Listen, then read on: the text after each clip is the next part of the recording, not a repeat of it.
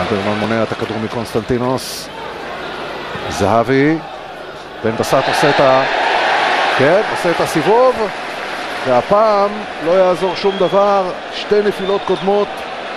השופט לא התרגש. ועכשיו הוא מצביע על הנקודה הלבנה. בן בסט מבקש מזהבי לבעוט. עוד מעט נראה אם זהבי נותן לו או לא. אבל בפעם השנייה במשחק הזה מכבי תל אביב הולכת לנקודה הלבנה בואו נראה את ההכשלה. בן בסט. הנה. דור המכשיל.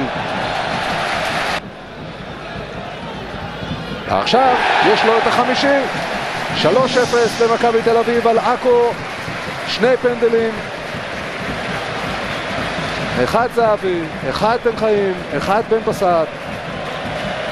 וחגיגה צהובה בבלומפילד על הקבוצה המסכנה מהמקום האחרון בטבלה. כן, אז uh, בפנדל יש בועט טוב ובן בסט בועט מצוין. אני בעיקר uh, שמח ורואה את הפרגון בין השחקנים, איך זהבי נותן לבן בסט, הוא רוצה, הוא יודע שכשבן בסט ישחק וזהבי יהיה לידו והוא לא ישחק את התשע, הם יגיעו להרבה מצבים, יכבשו הרבה שערים והם גם ייהנו מהמשחק.